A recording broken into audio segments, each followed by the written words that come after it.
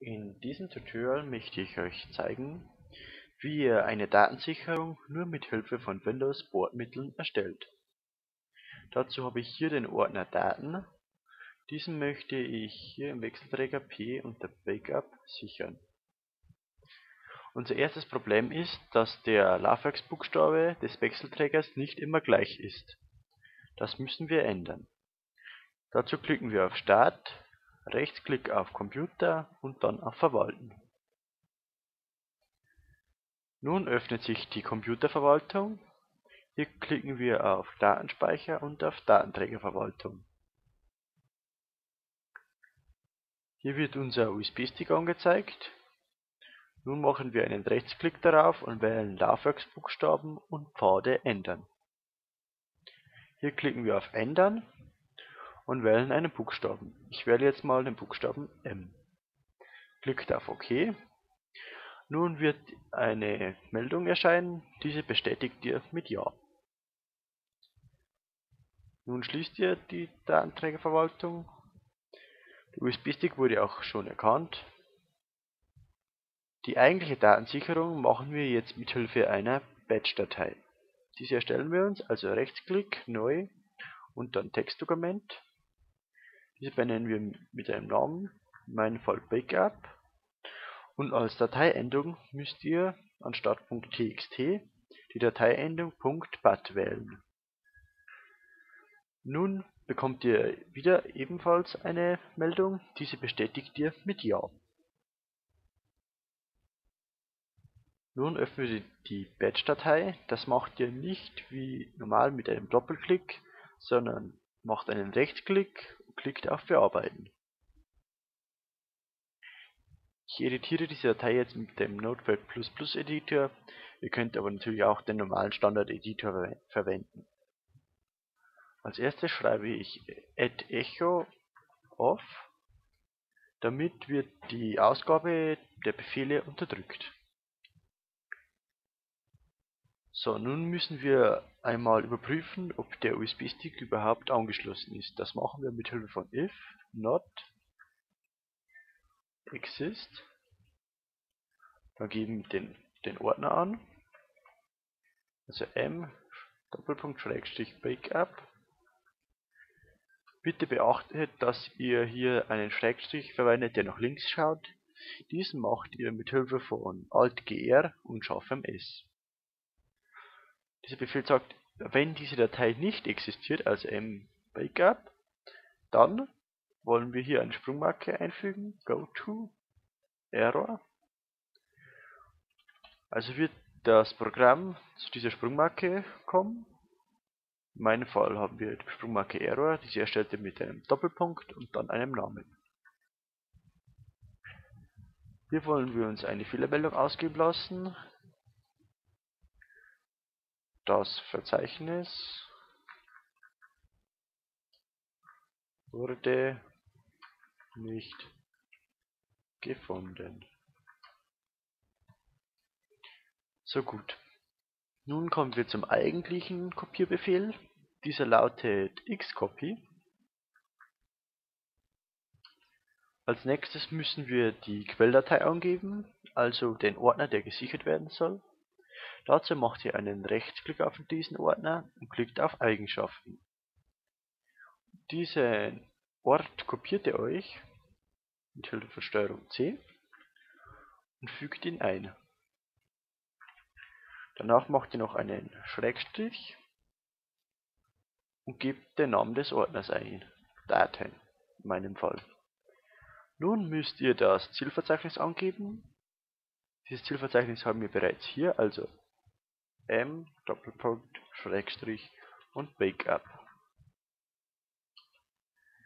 Hier brauchen wir noch einige Parameter. Diese beginnen mit einem normalen Schrägstrich, also Umschalt und die Taste 7 drücken. Dazu brauchen wir als erstes den Parameter S und E. Diese beiden sorgen dafür, dass auch alle Unterverzeichnisse kopiert werden. Danach folgt der Parameter C. Dieser sorgt dafür, dass falls eine Datei nicht kopiert werden konnte, der der Backup-Vorgang weitergeführt wird. Und nur noch den Parameter "-y". Dieser sorgt dafür, dass keine Abfrage kommt, ob ihr die Dateien wirklich überschreiben wollt. Nun erstellen wir uns noch eine Protokolldatei, die speichert, wann das letzte Backup gemacht wurde. Das machen wir mit Hilfe von echo und geben hier einen Text ein, also hier beispielsweise Backup von Daten am und nun fügen wir das aktuelle Datum ein, das machen wir mit Hilfe von Prozent, Date, Prozent.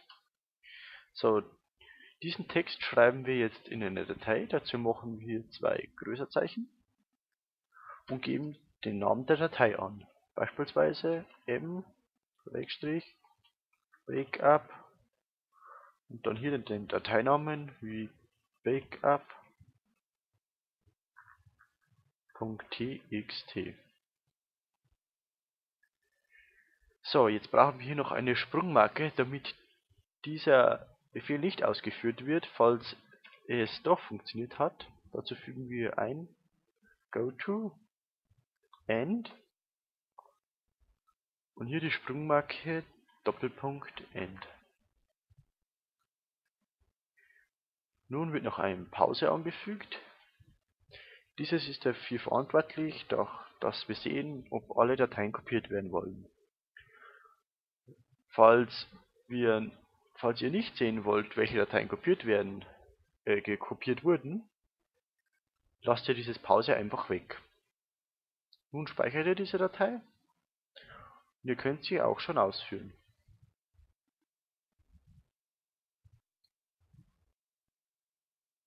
Oh, ich sehe gerade, ich habe einen Befehl falsch geschrieben.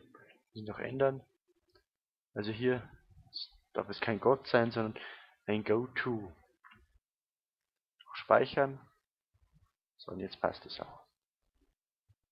Wir sehen, wurden die diese drei Dateien kopiert. Nun, jetzt möchte ich euch noch zeigen, wie ihr einstellen könnt, dass dieses Backup automatisch ausgeführt wird, also beispielsweise jeden Tag. Dazu klickt ihr auf Start, macht eine, wieder einen Rechtsklick auf Computer und geht auf Verwalten. Dieses Mal klickt ihr auf System und dann auf Aufgabenplanung. Hier erstellt ihr eine neue Aufgabe mit Hilfe von Aufgabe erstellen. Als erstes legt ihr einen Namen fest, in meinem Fall Backup. Hier geht ihr auf Trigger und erstellt einen neuen Trigger.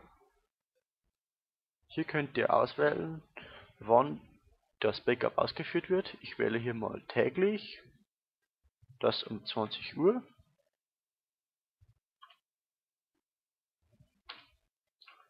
Und dann bestätigen mit OK. Hier müssen wir noch die Aktion festlegen.